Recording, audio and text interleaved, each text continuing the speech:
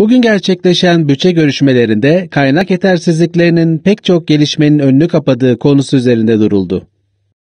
Bu konudaki aksaklıkların giderilmesinin ardından ücretlerle ilgili tekliflerin tekrar görüşülmesi kararlaştırıldı.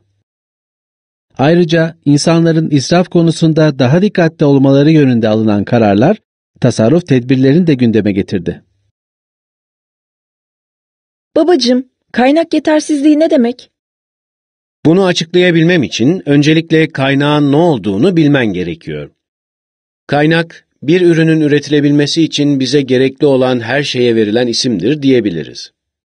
Kaynaklarımızı doğal kaynaklar, insan kaynakları ve mali kaynaklar olarak ayırabiliriz. Biraz daha açıklar mısın babacım? Tabii ki. İstersen bunu her gün soframıza gelen ekmeğin üretimi ile örneklendirelim. Harika olur babacım. Öncelikle her türlü ürünün üretilebilmesi için çeşitli aşamalardan geçtiğini ve kaynaklara ihtiyaç duyulduğunu bilmemiz lazım. Ekmek de bunlardan biridir. Ekmeği üretebilmek için öncelikle buğdaya ihtiyaç duyarız.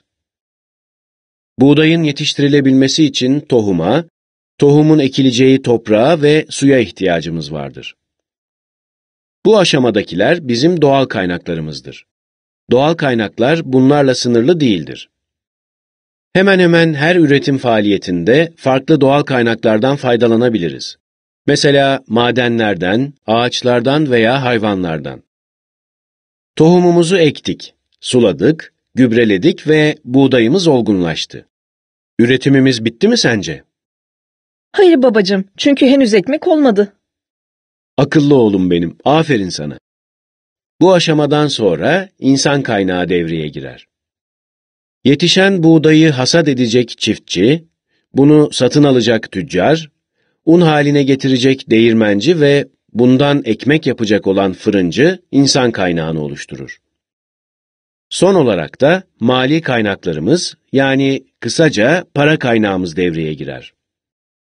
Üretilen ürünleri satın alabilmemiz için gerekli olan kaynak para kaynağıdır.